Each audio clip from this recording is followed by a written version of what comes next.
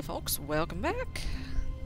We're going to attempt to get a few endings that we've never gotten today. All of his co-workers were gone. Let's What could it mean? I think there's actually Stanley decided to go to the meeting room. Perhaps he had simply missed a memo.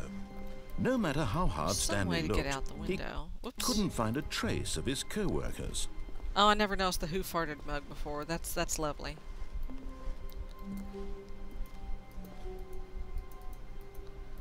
Okay, I know there's an ending out the window. I will have to look into that. Because I can't seem to get it from here. Okay. Oh, please. Yes, Are you really I just am. doing this for the achievement? Click a door five times. Is Yep. that all that you think an achievement is worth? No, no, no, no, no. I can't I'm just give these more than merits that, away son. for such little effort. A measly five clicks. Now suppose you were to click the door 20 times. Come on. I would say that's the kind of effort that warrants recognition. Hmm. I have to Oh, say, I'm still not feeling the satisfaction. Oh, no, we can do this all day. For a noble cause. Come on. Perhaps 50 clicks will do it. Yes, almost certainly 50 clicks. We can do this all day, all night.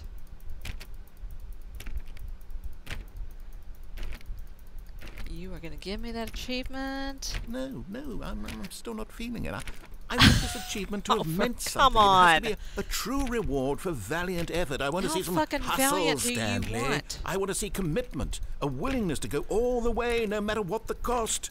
Why don't you go put 20 clicks into door number 417? 417. Okay, where is 417?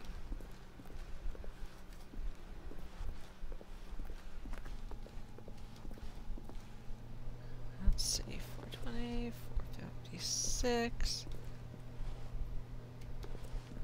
Four, ah, there it is. Oh, great. Now, go click a few times on door 437. Which I think is back this way. I swear to God. Four, three, s- oh, there it is. Excellent. I think we're getting oh, somewhere. Oh, God's now, sake, door come on. 415. Let's give it 10 clicks or so.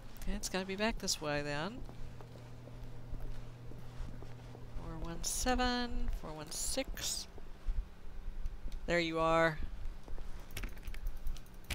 Now, back to door number 437. Yeah.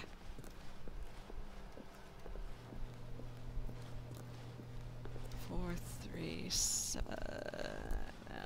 Ha! Let's see. How about you click on, well, I don't know, God. the copy machine? Where, where, where, where?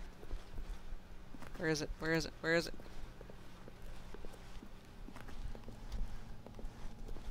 Which copy machine? Where? Where? Where? Oh, there it is. All right, back to room 417. I'm really feeling it now. I think we're getting somewhere. You son of a. Okay, now go climb on employee 419's Okay. desk. Okay, All right. Here we go. Um. Oh. Yes! This is great! You're putting it all on the line, Stanley. I like that. All right, let's keep it up. Go give me a few clicks on door 416. We've almost got it! Now the copy machine, do that God. one again! Is there one over here? No. I gotta go back to the other one. Jesus.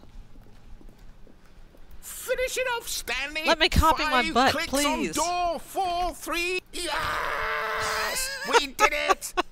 oh, wow. That felt amazing. Oh, oh my Oh, You really earned God. it, Stanley. Nothing could hold you back. Yes, I'm very proud of how Yeah, far I'm we've sure come you today. are. Just think, only a few minutes ago, you believed an achievement was worth five little clicks.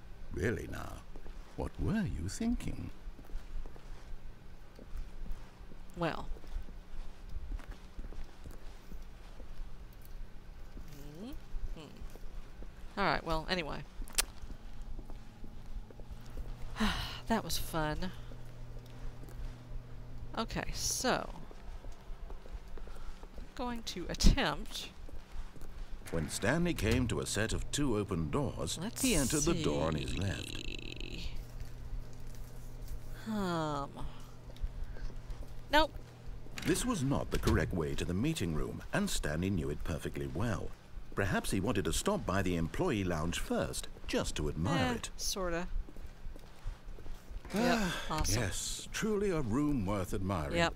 But eager to sorry, get back busy. to business, Can't stay. Stanley took the first open door on his left. Nope. Stanley was so bad at following directions, it's incredible he wasn't fired years ago. I'm going. Let's see. Can't do anything with this door. I'm gonna try this way again. Look, Stanley, I think perhaps we've gotten off on the wrong foot here. I'm not No, your not really. really, I'm not. I realize that investing your Uh-huh. trust in someone else can be difficult, but the fact is that the story has been about nothing but you all this time. There's someone you've been neglecting, Stanley. Someone you've forgotten about. Mm-hmm. Please, stop trying to make every decision by yourself. Uh, nope, I'm nope, not asking nope. for me, I'm Nope. asking for her. I make my own This is decisions. it, Stanley. Your chance to redeem yourself. To put your work aside. To let Can her get- back can I get in into your life. She's been waiting. Nope, can't get in there. How about here? What happens if I go here? Nothing. Alright. I'll try this way again.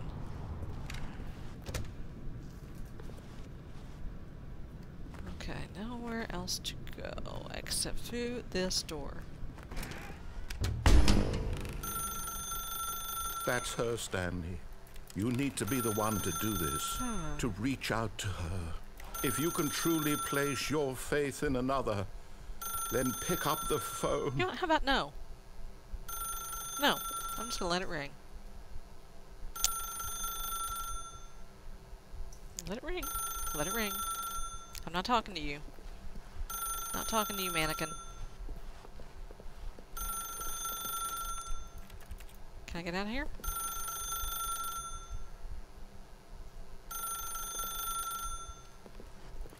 Oh, nobody's home. Give up.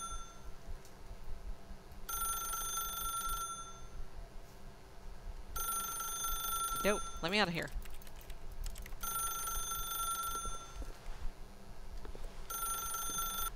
As oh, Stanley Oh, picked up the phone, a white light engulfed him, filling him not just with radiance, but with hope.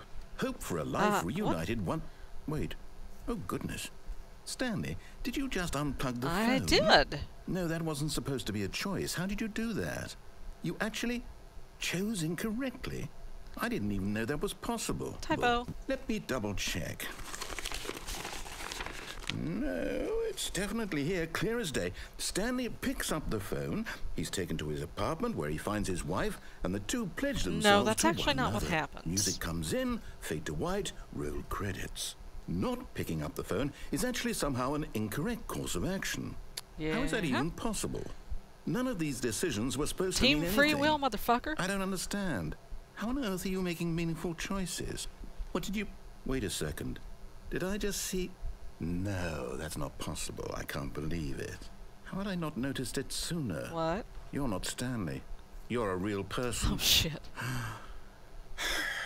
I can't believe I was so mistaken. This is why you've been able to make correct and incorrect choices. And to think Uh-huh. I've been letting you run around in this game for so long. If you'd made any more wrong choices, you might have negated it entirely. It's Maybe. as though you completely ignored even the most basic safety protocol for real-world decision-making. But this or did the you real not world, grasp so the you. severity of the situation? Well, I won't have that kind of risk on my watch. Um, I'm going to stop the game for a moment so we can educate Oh, you properly on safe decision making in the real world. Please observe this No. helpful instructional oh, video. Oh, fine.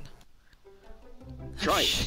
what it's the, the, fuck best is part this? of being a real person. Yay. But if used incorrectly, can also be the most dangerous. Well, yeah. For example, in this scenario, a hypothetical real person named Stephen has a choice. He could spend years helping improve the quality of life for citizens of impoverished third world nations. No. Or he could systematically set You're fire to every wrong. orphan living in a 30 kilometer No, radius you're of his definitely house. doing it wrong. Which choice would you make? Remember that Uh, unlike here, neither? the real world makes sense, and at no time should you make a choice that does not conform to rational logic. If you find yourself speaking with a person who does not make sense, in all likelihood, that person is not real. Allow the Oh, person shit. to finish their thought, then provide an excuse why you cannot continue talking. Turn to a partner and practice saying, My goodness, is it 4.30? I'm supposed to be having a back sack and crack. A what? A practice. Okay.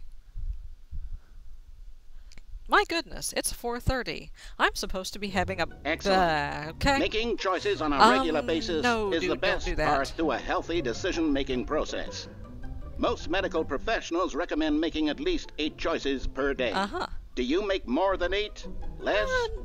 and finally, somewhere in the if you begin to wonder if your choices are actually meaningful and whether you'll uh, ever make a significant contribution to the world, just remember that in the vast infiniteness Oh. of space, your thoughts and that's problems great. are materially insignificant, and the know. feeling should subside. Awesome. At this time, your instructor will guide you in an exercise to test and goody. reinforce the material covered in this video. Okay. Ah, oh shit. Welcome back.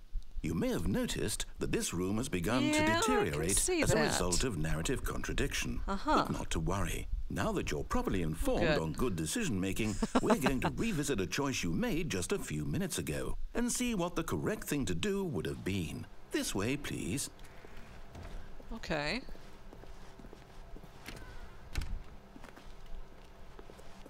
Oh. Oh.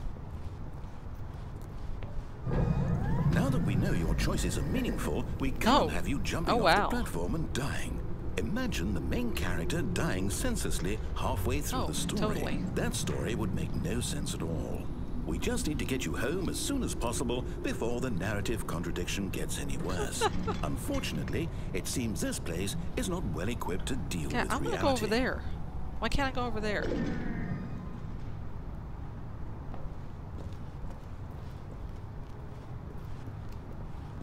I get back on there? Look, I want to go. How do you get there? Okay, fine. I'll go back this way.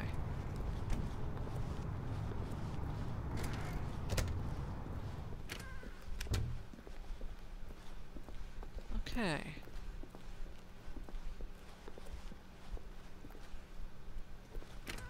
Almost there. You'll take the door on the left, back to the correct ending, the story will have resolution once again, and you'll be home free in the real world. Uh, you really think so?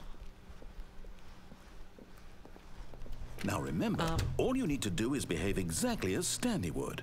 That means choosing responsibly and always putting the story Uh-huh. first. I'm quite sure you'll be up to the task. Just follow my lead and you'll be fine. All right. when Stanley came to a set of two open doors, he entered the door on his left. Nope. No! Why did you do that? Quickly, Oh, hurry back in the other direction. Perhaps we're not too late. That's messed up.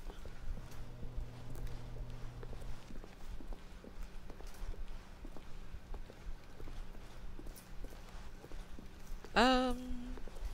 Ugh, Oh, snap. Ruined. You, I can't believe, after everything we talked about, that you. My story. You've destroyed my work. Why? For what? What did you get out of that? What did you think was so special about seeing the game undone? It's Left here like so much garbage. It, well, it's worthless now. And what am I supposed to do? Even if there were a way to continue, would know. it be worth it? Not my problem. To know that my story is now incorrect? How can I go back to that? I can't erase that knowledge. I'll have to live with it forever, reliving its impossibility sucks forever. I couldn't live that way. Is it better to shut the game down entirely? No. To willingly destroy all No. of my work? Um, I don't know. Don't you What's do the it. answer? What do I do? What do I do? What do I... No, I have to. I have to shut the game No. down. I have to. I have to. Hey, hey, hey, hey. Oh, shit. Um, hello? Uh, oh, oh, damn. Oh, I'm, I'm here. I'm still here. Here in this pile of rubbish. With you. You. Who thought you were so clever. Now look where we are. My entire game is destroyed. It was the only thing in the world that was mine, and you've run it into the ground. Sorry. What, did you think that would be funny? Yeah. You just had to see? Didn't I impress upon you how important it was to be like Stanley? He actually knows how to do what I tell him to. he understands that Obviously if I say to do something, there's a damn good reason for it. Dude, settle that down. thought hadn't even occurred to you, had it? That there's a world outside of you? Uh, well, You're a child. uh, excuse me, I'm a grown-ass woman. My story. If you'd just gone through the door on the left, you would have seen it. it. There was a whole underground already saw that too, facility. few You would have destroyed it and been Yep, already victorious. did it. it would have been so perfect. I worked so hard on it. Well, I tried so Sorry. hard Uh, um, to behave exactly as Stanley would. That means What? choosing responsibly and always putting the story first. Okay. I'm quite sure you'll be up to the task. Just follow my lead and you'll be fine. All right. when Stanley came to a set of Okay. two open doors, he entered the door on his left. I'm just gonna... Okay, the door's just shut.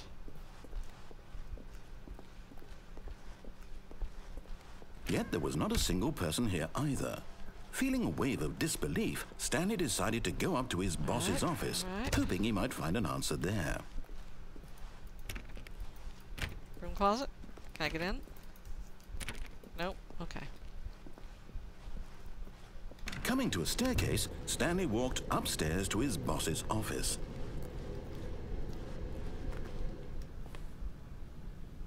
Okay. What? What the hell? This is different. Stepping inside his manager's office, Stanley was once again What stunned to discover not an indication of any human life. What? Shocked, unraveled, Stanley wondered in disbelief who orchestrated this until he saw the door with a voice receiver next to it. Surely behind this door lay all the answers to his questions. And beyond all probability, he knew the passcode. He had seen it on his boss's computer just last week. Night Shark 115.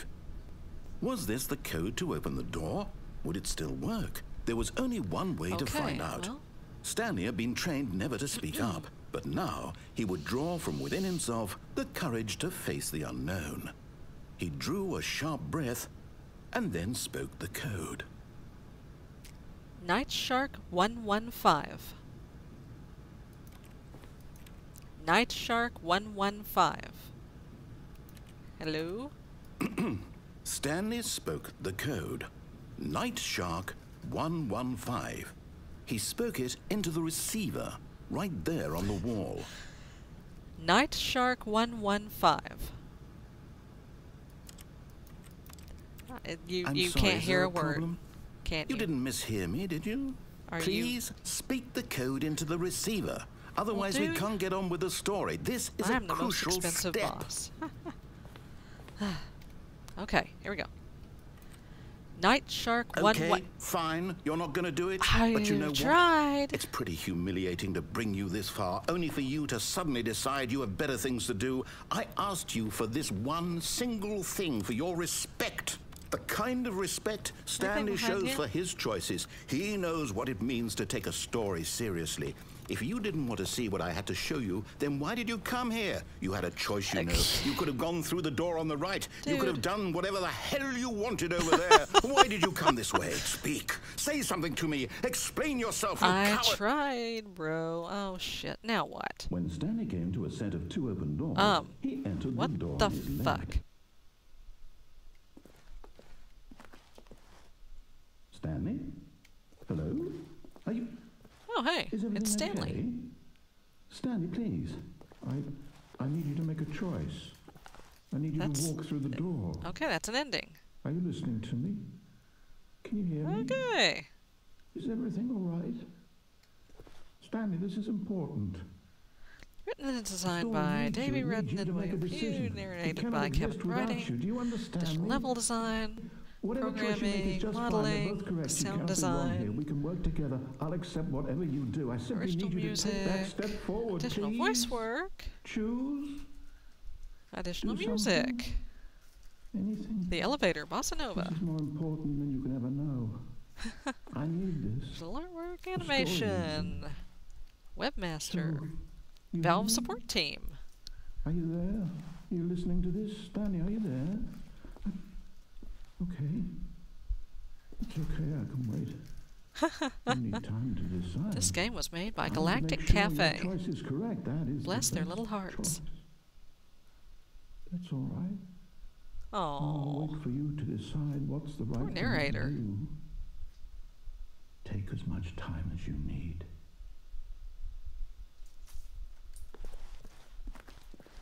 okay. Oh, shit. Okie dokie. Well, that's all for today. Maybe next time we will try finding a different route that we haven't gone down yet. I will see you then. Bye bye.